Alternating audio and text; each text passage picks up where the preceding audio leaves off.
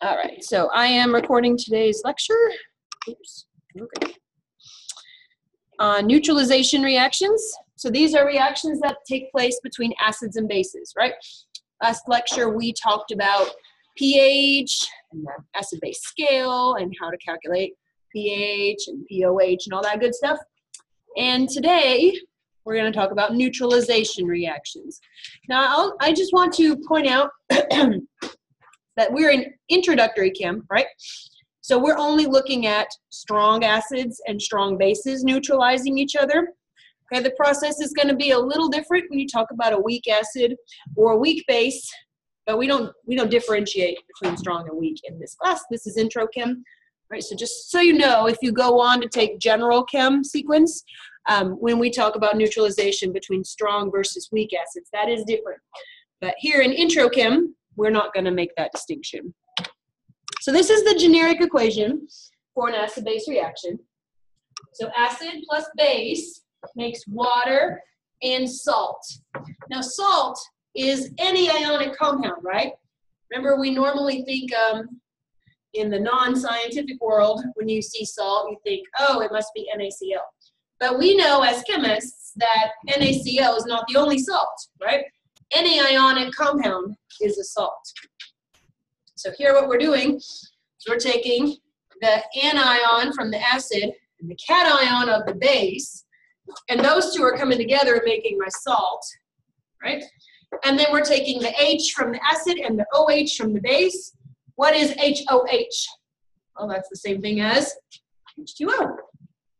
Do we see how this works? So in other words, it's a double displacement reaction. I mean, that's really what it is. That's really what it is, right? The cation of one gets together with the anion of the other. You want to think of it as a double displacement reaction. That's completely appropriate thing to do. Acid plus base makes water and salt. Now again, make sure your salt, just like we've done all semester, make sure this formula is correct. Crisscross your superscripts to become subscripts, right? If this was plus two, for instance, and this was, I don't know, minus three, right? Make sure you crisscross those when you're writing your formula of the salt. Acid plus base makes water and salt. So when an acid combines with a base, the two neutralize each other. Neutralization occurs. So you neutralize acids and bases, making water and salt. Is everybody good on how to do this? Ready to try some? This is what I just said. Make sure you write a chemically correct formula for salt. All right, so let's do this one together. Sodium hydroxide reacts with sulfuric acid. Write a balanced reaction for the process. Let's think back to Wednesday, how to write formulas. Sodium hydroxide, do you have to do anything special for writing its formula? Is there anything special about writing the formula for sodium hydroxide? No, right? You've been writing the formula for sodium hydroxide since the very beginning of the semester. Sulfuric acid. Okay, let's think back to last week. I know it's been a three-day weekend. Brains probably haven't been thinking about chemistry as much as I'd like, but that's okay. There's no prefix here, right? It's not hydrosulfuric acid, it's just sulfuric acid. So does that mean that it's made from a polyatomic ion or a monatomic ion? Back in your notes if you don't remember. There's no prefix, so is that a polyatomic or monatomic ion? Polyatomic, right. So what anion is used to make sulfuric acid? What polyatomic ion? Sulfate, sulfate, right. If sulfate is SO4 minus 2, what would sulfuric acid be?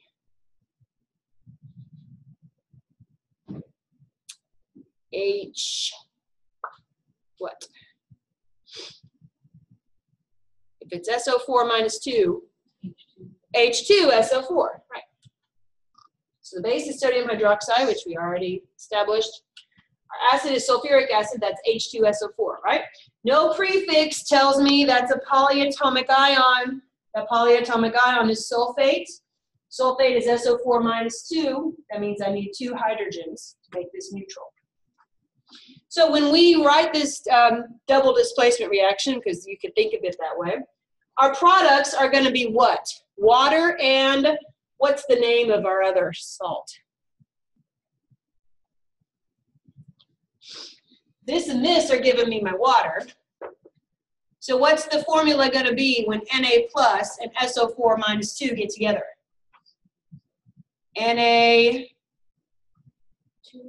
Na2SO4, right, because this is plus 1, this is minus 2, so I have to crisscross those. So our formula will be Na2SO4. And then we need to balance it.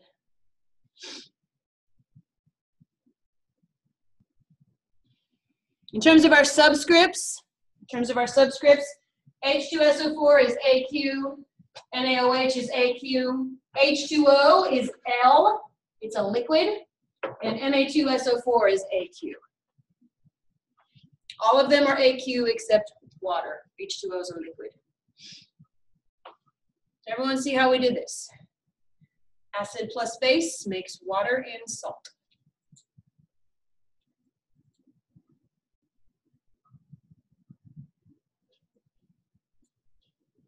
Any questions on how we do this? So you could think of it as a double displacement reaction, right? Because that's an easy way to keep it straight. Or you can just remember, okay, I'm making water, and then I just need to figure out what my salt is from the cation and the anion of the acid and the base. Okay, make sure that you have the formula of the salt correct, right? That crisscrossing, and then also double check that you're balanced. All right, you try this one. Barium hydroxide and hydrofluoric acid. Barium hydroxide and hydrofluoric acid. I'm going to pause the video while you give this one a try. Let's go over this one. So barium hydroxide is our base. And hydrofluoric acid, what's that formula? HF, just HF, right? So when we combine these two, we produce water and a salt, right? So we get water and BAF2. Why is it F2 and not BAF? Well, because barium has what charge as an ion? Ba plus 2, and fluoride is minus 1. So we crisscross those, that's why there's a 2 right here. Don't forget this 2 is outside a set of parentheses. Most common mistake I see with hydroxides is students omit those parentheses, right? Even at the end of the semester, like where we are, we're in what, 13, I still see students omitting parentheses around hydroxide. Make sure you include that set of parentheses. Did you get it right? Made a mistake? You see where you made it? All right, do this one. Sodium hydroxide and nitric acid. Sodium hydroxide and nitric acid. I'll pause the video. All right, let's look at this one. I don't have the answer on here, so let's go through it on the board. So, sodium hydroxide has what formula? NaOH, right? That's our base. Does it matter if you wrote the base first or the acid first? No, it doesn't. Right, subscript AQ, this is the solution. And our acid is nitric acid. What's that? HNO3. HNO3.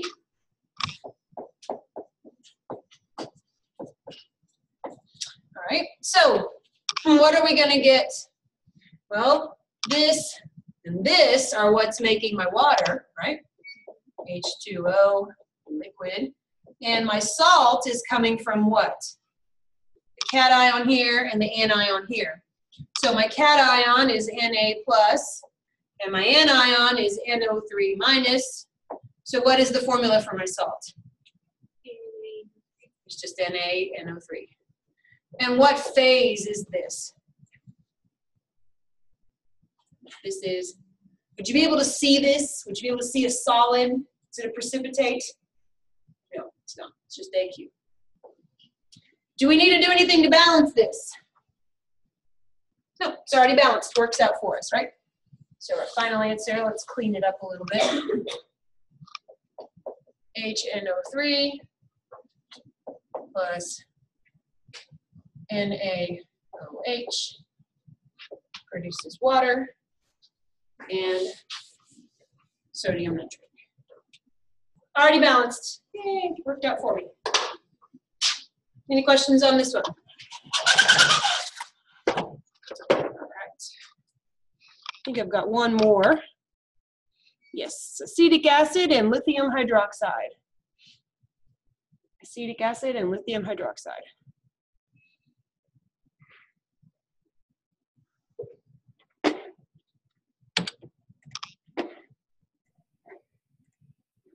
So we're looking at acetic acid. What is acetate? Who remembers what the acetate ion is? C2H3, O2 with what charge? Minus, right. So acetic acid would be H, C2H3O2. Lithium hydroxide, what's its formula? LiOH. Okay. So we'll get lithium acetate and water. Do we agree? Any questions? Now, acetic acid is a weak acid. Um, like I said, we're dealing in terms of calculations, really dealing with strong acids and strong bases in introchem. So just so you know. All right, so let's talk about titrations. A titration is a method that we use to figure out the concentration of an acid or base of unknown concentration.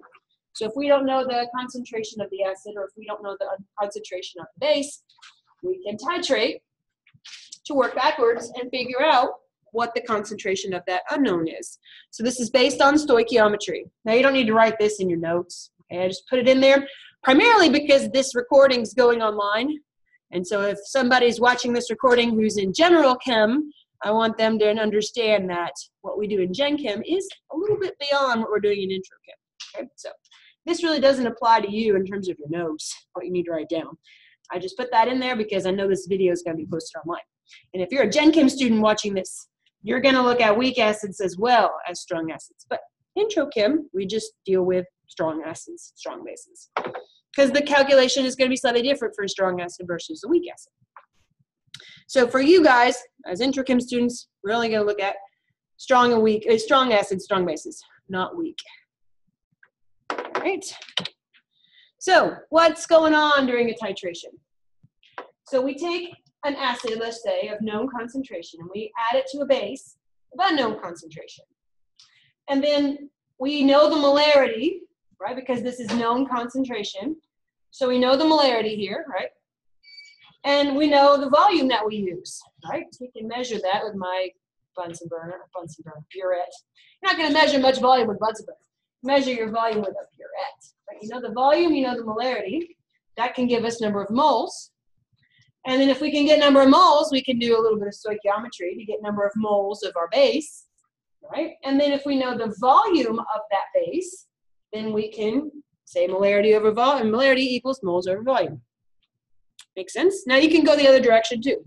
If I replace the word uh, base of known concentration, I could titrate a unknown acid, right? So you can go either direction. You can use an acid to titrate a base. You can use a base to titrate an acid. Okay, it's not always acid added to base for unknown identification. It could also be the other way around.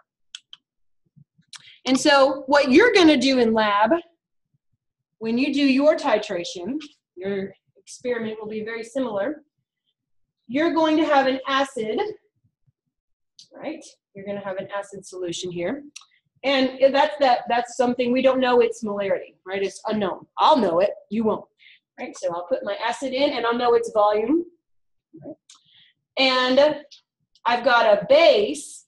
This is known concentration. Right, so I know this concentration. A burette's a very accurate piece of glassware. So I figure out how much base I add. Right? And then how do I know when I've neutralized all the acid? Because I'm going to have an indicator in here, a pH indicator. The pH indicator you're going to use phenolphthalein. So this is a nice, bright way to tell who's having a good day in the lab and who's having a bad day in the lab. Because your final solution here, when using phenolphthalein, should be, everybody, unless you've got painted fingernails, look at the color of the pink on your fingernails. That just pale, pale, pale, pale pink, all right? The whole solution should be that pale pink all the way throughout. And it should be stable. So in other words, if it fades, you're not there yet. Um, so I can see and everybody else can see, did you titrate it well or not? If you add too much, it'll turn bright pink, fuchsia, you know, it'll be in your face pink. It's gonna be a bold pink. So uh, everybody can see. How well are you doing in the lab today? So that's a fun experiment to do. Um, experimental technique is, you know, kind of advertised to the whole class. So that's kind of fun. Um, but it's also fun because you get to make a pretty solution, right? The, the final solutions that, like, I use fingernail pink. It's a good kind of reference color there. Right? If yours looks like this, that's a bad day in the lab. Right? You've over titrated. So when you're getting close to the endpoint, you'll add a drop and it'll kind of swirl around and then fade. You're not there yet. The whole solution has to be stable at that fingernail pink color. Just a preview of things to come. Okay, so here are the steps in titration. Here's the steps in titration. I'm actually going to go through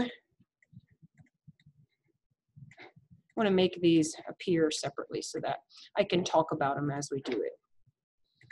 Okay, so the first thing in titration, we know the molarity of the known, right? Let's pretend it's 1.5 molar, right? We know the molarity, and we know its volume. Now, why does the volume have to be in liters? You're going to measure it milliliters, right? But why does that volume have to be converted to liters? Because molarity has what units? Molarity is what over what?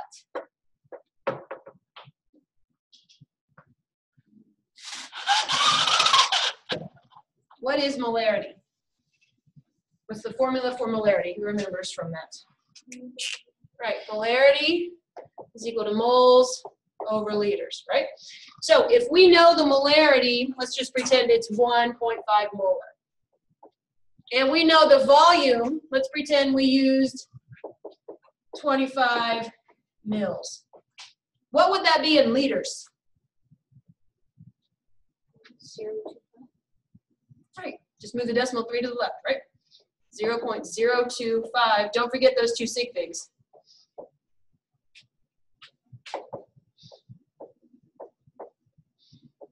Right, so how do you get x by itself?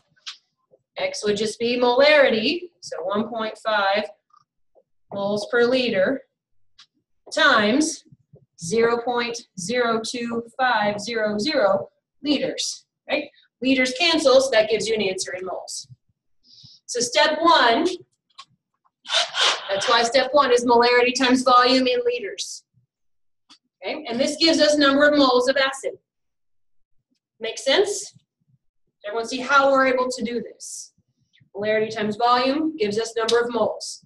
Now, if you know number of moles, and you have a balanced equation, you can then do a mole ratio step, right? So if you know number of moles, and you know a balanced equation, you can then do a mole ratio step. I'm actually going to leave that just like that. So you're going to multiply by the mole ratio from the balanced equation right? Those coefficients. Those coefficients. So let's just pretend, I'm going to make up some numbers here. Let's pretend that you've got two uh, of one and three of another produces, you know, H2O and salt. Because we don't care about the coefficients here. Let's just pretend this is my acid and this is my base. And let's pretend in step one, we found out that the number of moles acid was, let's just pretend 0.073 moles. How would I set up that conversion factor? I want acid to go away, right? So is acid going to be on the bottom or on the top? I'm trying to figure out information about the base, does acid go on top or on bottom? Bottom, right? And the mole ratio here's two. I'm just making this up. So two moles acid. And then what will be on top? Base. And what number would be with it? Three, Right, so these coefficients are where these are coming from. Just like stoichiometry that we did a couple weeks ago, right? And now the acid cancels out and I'm left with moles of base. Okay, does that make sense? Now we get number of moles of base from stoichiometry. We're not going to be interested in the coefficients of the water or the salt. But of course, you do need to balance the equation, which might involve putting a coefficient over here. Right? But you're never going to be having a question mark over water. You're never going to be having a question mark over the salt. Okay, you're only interested in either finding out the molarity of the acid or the base. Is everybody good on how we do step two? Mole ratio, just like regular stoichiometry. And then now we know number of moles of base, we just calculated it. And we know the volume, right? So now molarity is just moles over liters. So if we just calculate molarity by taking the moles that we just solved for, right? So this number right here goes right there. And then this is from the problem.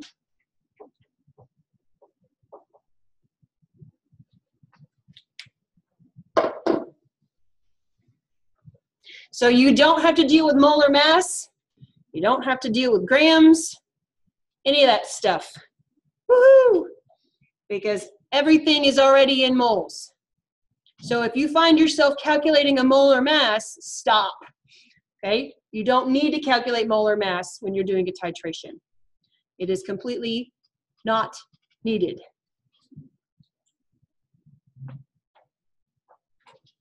So it's three steps three steps, three relatively easy steps in my opinion.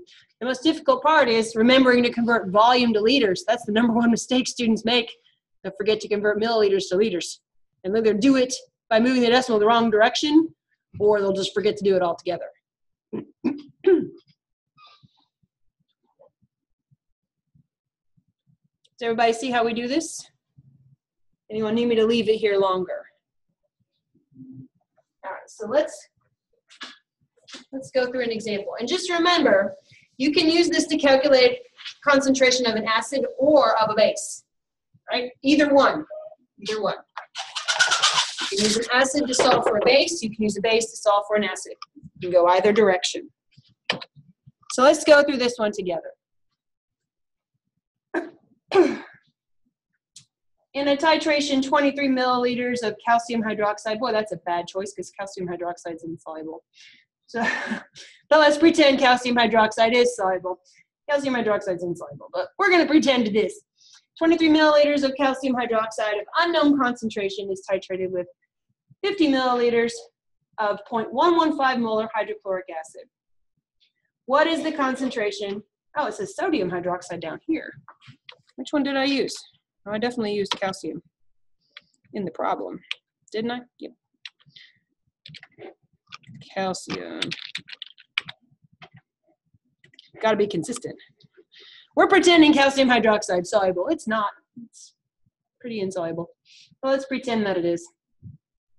Assuming the calcium hydroxide dissolves, what's its concentration?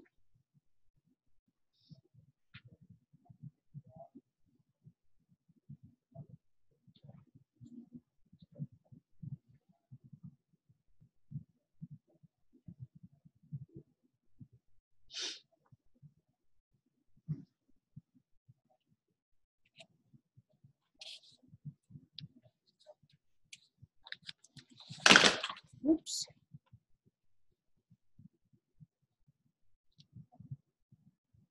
Oh, that's right, barium hydroxide soluble. So we can replace that calcium with barium because barium hydroxide is soluble.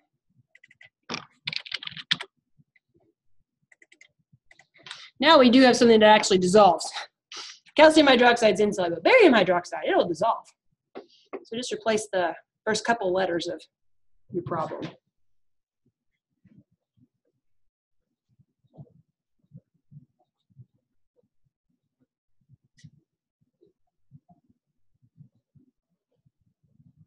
So instead of Ca, we'll use Ba. CaOH2 is insoluble. BaOH2 is soluble.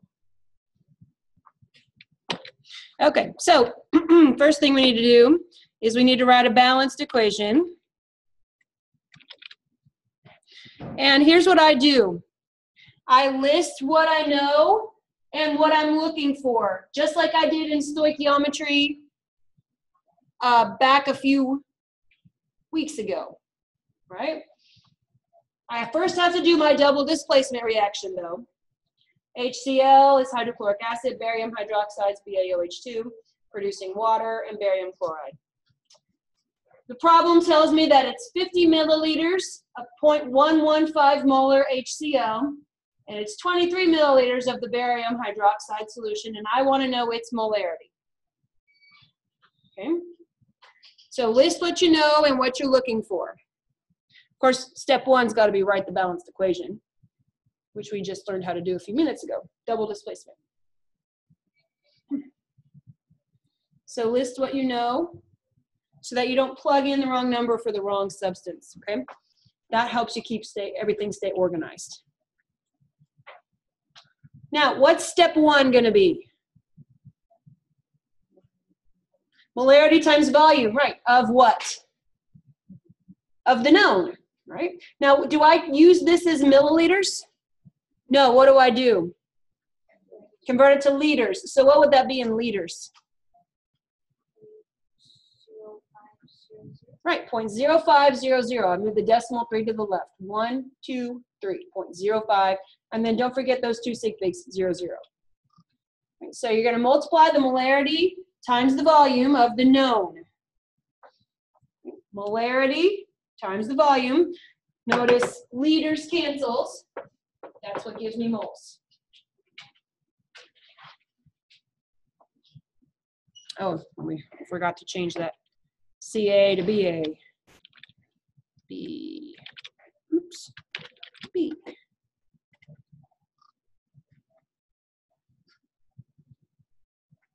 Molarity times volume gives us number of moles. Because there's nothing I could do over here, right? This, I've got an unknown. So I can't do anything over here. So the only logical choice to pick would be the molarity and the volume of the acid.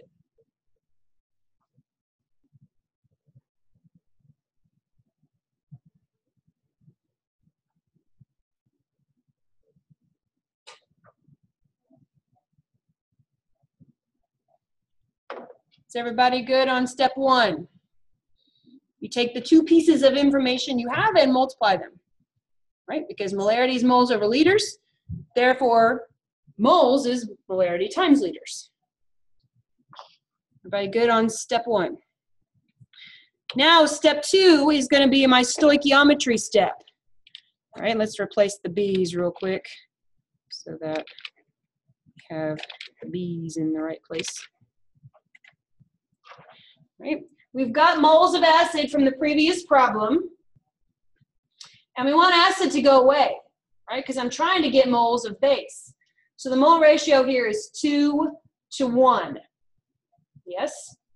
Two moles of acid are used every time I consume one mole of base. So I set it up so that the mole that I want to go away is on the bottom and the unit I want to keep is on the top. Multiplying straight across and divide up. Right, moles of HCl cancel, and I'm left with moles of barium hydroxide.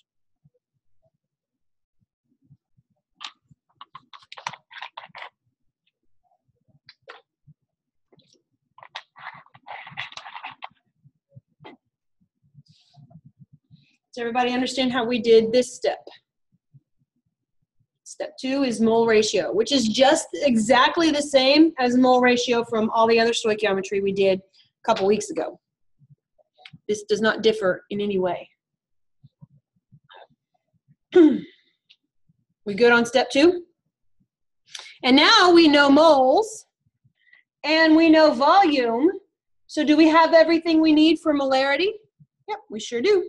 So now molarity is just moles over liters. All right, so it's just moles over liters. Now don't forget, can I use 23 as my volume? Can I use 23 as the volume here? No, what is it? going to be? Move the decimal three to the left. One, two, three becomes 0.023. Zero. Right? So 2.88 moles, or 2.88 times 10 to the negative third moles, which I just got in the previous step, divided by the volume in liters, keeping three significant figures. My molarity is 0.125, and I need units, right? That unit is concentration in molarity, so I need to write capital M.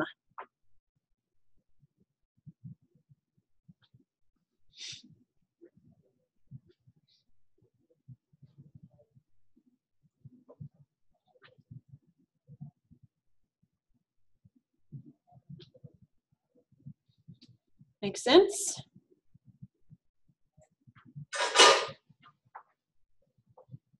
Any questions on this process? You ready to try one for yourself? Anyone need me to leave it here longer? All right, you do this one. In a titration, 135.5 milliliters of nitric acid solution of unknown concentration is titrated with 71.42 milliliters of a 0.565 molar potassium hydroxide solution. What is the concentration of the nitric acid solution? Let me pause the recording and I'll give you some time to work on this. All right, let's go over this one then. So here, we're using the base to figure out the concentration of the acid, right? We're going from base as our known to acid as our unknown. So first we have to write a balanced equation, right? We can't do anything until we have a balanced equation. Lucky for us, when we write this, it's already balanced, right? Mole ratios are 1 to 1 to 1 to 1, so no coefficients needed. Problem tells us that we're interested in the molarity of the acid, right? So that's where the question mark here comes from. And the volume of the acid was 135.5.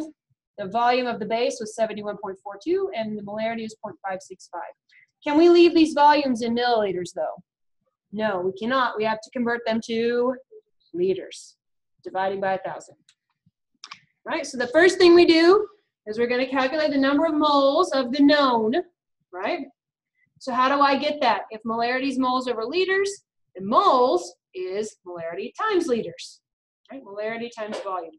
So molarity and volume right? 71.42 milliliters is 0.07142 liters. Liters cancels. That gives me an answer in moles. Do we agree on step one? Now we want to carry out extra digits. I didn't carry out too many here because I was running out of space on my slide. But if you carried out more decimal places than that, that's fine, right? Because we're going to be rounding at the very end. So I was running out of space on my slide here, but you can carry out more decimal places than that. Do we agree on step one? Everybody got the same answer within rounding? All right, step two, we're multiplying by the mole ratio. Now the mole ratio here is one to one. So my number doesn't change. What changes? My units. Do I still have to show this step even though the number doesn't change? Yes. Why? Remember, the whole point of a test or a quiz is to communicate to me that you know what you're doing. So if you show me this step, that tells me that you understand how to do the conversion from moles of KOH to moles of HNO3. Okay, so even though the number isn't changing, yes, it's extra writing to show a step where it doesn't change the number, but it is important to tell me that you understand how to turn this unit into this unit. That's important. Just remember, my goal here is to convince Dr. Bruck that I know what I'm doing. Right? If I show this step, that'll make her happy. That'll make her convinced that I know what I'm doing. So always, always, always, even if the number doesn't change, but the units do, show me how you do that. Everybody good on step two? And then lastly, we know number of moles. We just got number of moles. We have the volume from the problem. So now it's just molarity, moles over liters. And we're rounding our final answer to three significant figures. This number's got four sig figs, four sig figs, but this one's only got three, right? So that's why my final answer can only have three. And I do need units, right? Capital M as my units. You could put the HNO3 if you want, but you absolutely have to have this capital M, right? If this molarity isn't here, then I'm gonna mark it wrong. If you put whether or not it's H or gray, that doesn't matter. But I need to know for sure that you know that unit molarity. Did you get it right? If you didn't get it right, do you see where you went wrong? Questions on this problem? Ready, try another? Okay, do this one. 25 milliliters of sodium hydroxide is titrated with 33.8 milliliters of 5.5 molar sulfuric acid solution. Not sure why I gave you that formula. Must have been feeling nice. What's the molarity of the base? I'll pause the recording so you can try this one. All right, let's see what we got for this one. So first we need a balanced equation. Right, we need a balanced equation here. Sulfuric acid and sodium hydroxide producing water and sodium sulfate. So step one is balanced equation. Well, I guess you could think of that step zero, right? Because you can't do any stoichiometry until you have a balanced equation listing what you know and what you're looking for from the problem. So step one is molarity times volume. Which am I going to use, the acid or the base? Do I have enough information about the base to do molarity times volume? No. So by process of elimination, right, you can say, okay, this one's got to be what I work from. So here we're using the acid to figure out information about the base. So molarity times volume, right? Moles per liter times liters, right? Liters cancel, that gives me moles. You could have carried out more decimal places than that if you wanted. That's fine. We're going to round at the very end. Okay, so you need to carry out at least three because that's our least number of sig figs. So carry out at least three. It's ideal if you carry out one or two more, but if you carry out at least three, you're okay. We good on step one? Now we're going to multiply by the mole ratio. Right? Mole ratio here is two to one. Two moles of NaOH are used for every one mole of sulfuric acid. So we take the number we just got, multiply by two, divide by one. Moles of H2SO4 cancel, that gives us moles of sodium hydroxide. Do we agree on this one? Now we know moles and we know volume. Do we have everything we need to calculate molarity? Yeah, we do. Molarity is moles over liters, right? So moles over liters, the answer we just got. Don't forget to convert milliliters to liters, right? When we divide by a 1,000, that gives us 0.0250. How come this zero stays? This was a sig fig here, so it stays, right? 14.8 molar is what I got. It's concentrated. Do we agree? Questions on this one? All right, do another one. If 41.1 milliliters of sodium hydroxide solution are needed to neutralize 20 milliliters of 0.15 molar sulfuric acid solution, well, hey, that's convenient because that's the same two acid and base from the previous reaction. So you don't have to rewrite the problem. What is the concentration of the sodium hydroxide?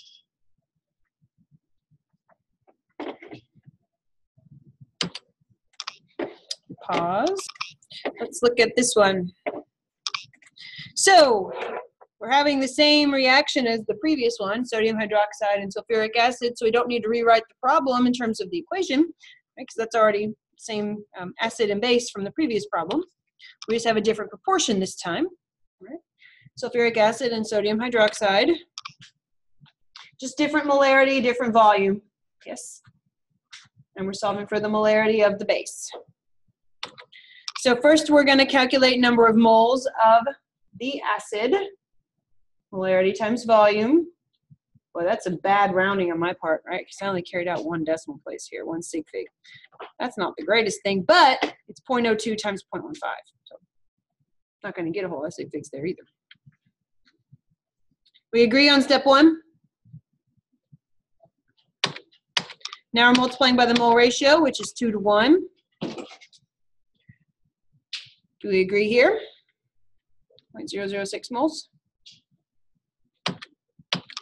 And now we know moles and we know volume, so we can calculate molarity. Questions on this one? Questions, questions? All right, so a couple of announcements. I'm going to stop the recording for that.